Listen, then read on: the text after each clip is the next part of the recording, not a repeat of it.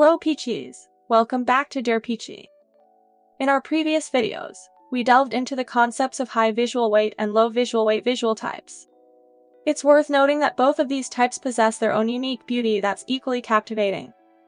The essence of low visual weight is often characterized by an ethereal and gentle presence. This delicate charm is most splendidly showcased through adept makeup choices, particularly embracing clean, nude makeup looks. In today's video, we're excited to present one of the renowned influencers, Fangyou Li, from Xiao Hongshu. Among her array of looks, there's one that has amassed millions of views on the platform. Her fans have been absolutely captivated by the kind of look she effortlessly pulled off. It's like this perfect balance of simplicity and intricate detailing that just keeps everyone hooked. Without further ado, let's see how she achieved this look. Yoli kicks off the tutorial with her base and contour already set. For foundation, she's opted for the Dior Forever Matte Foundation in the shade 0N. And when it comes to contouring, she's turning to a contour and highlighter palette from a Chinese brand called Timage.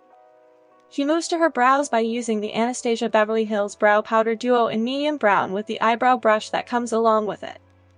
Combining both shades of the brow powder, Yoli blends them together. She then follows the contours of her natural brows, crafting a straight brow with just a subtle arch. This technique imparts a gentle, organic curvature that beautifully enhances the eyes. However, if you're leaning towards a Korean-inspired aesthetic rather than the C-beauty approach, there's a slight shift. In this case, the head of the brows is uplifted. To achieve this, the emphasis is on avoiding heavy filling of the lower part at the front of the brows. Instead, the focus is redirected towards the middle or upper region. This technique can effectively prevent your brows from appearing lower on your face. For added brow definition, Yoli opts for the Barbie Liquid Brow Liner to trace her strokes. You can easily find a brow liner with a similar precise tip, or even just a standard tip, to achieve similar results. The key is to achieve those delicate, well-defined lines that give your brows the desired shape and prominence. Identify any sparse areas in your brows, and simply apply gentle strokes to subtly fill them in. To complete the process, use the tinted brow gel to create a lighter appearance, adding an element of softness to the overall look. Moving on to the eyes, Yoli opts for the 3CE Smoother Eyeshadow Palette. To begin, she sweeps the light nude shade from the palette across her entire upper lid, creating a neutral base. Next, using the softest grayish top shade, she applies it to her crease, imparting depth and a subtle shadow effect to her eyes. Next, she introduces the brown shade. She places it on both the inner and outer corners of her eyes. This technique serves to intensify the gaze and create a captivating depth that draws attention to the eyes. Now, here's a clever tip for the eye look. Yoli picks up the light pink blush that she plans to use later and applies it along her waterline. This trick emulates the subtle rosiness of the skin around the eyes, resulting in an angelic and effortlessly natural appearance.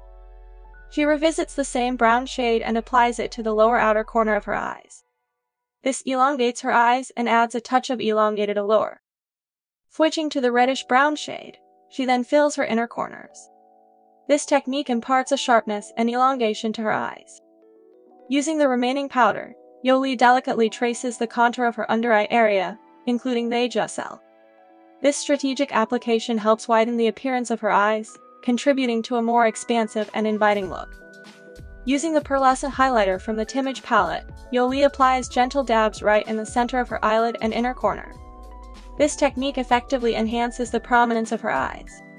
The subtle touch of glow she adds to her eyes works like magic, elevating the entire look and creating a captivating allure. Lashes are the cherry on top for this whole look. Yoli shares that falsies with shorter ends at the front and those longer ones at the outer corners are your best friends here. Those extended lashes on the outer edges. They're like an instant eye makeover, giving you that kind of foxy, alluring gaze. Before you go ahead and apply those lashes, remember to give them a little curl. First, grab some glue and spread it on the lid of the case. Then, take the outermost piece of your falsies and dip it into the glue. Now, here's the trick, put the glue on the back of your falsies. After that, hold the falsies straight and dip them directly into the glue to make sure those stems get coated. This glue step ensures the stems are well covered, keeping those lashes in place beautifully. For Yoli, she prefers to places the outermost pieces of the falsies on top of her real lashes. Here's a crucial detail. Yoli actually didn't align the falsies directly with the shape of her outer corner. Instead, she positioned them slightly away from the outer corner to achieve that lifted effect for her eyes. If you take a close look, you'll notice a tiny triangular gap between her lash line and the falsies. That's why it's essential to curl your lashes before, so they meld seamlessly with the falsies.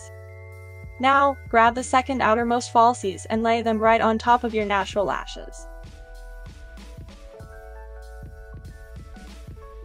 When it comes to the inner lash line, she switches it up.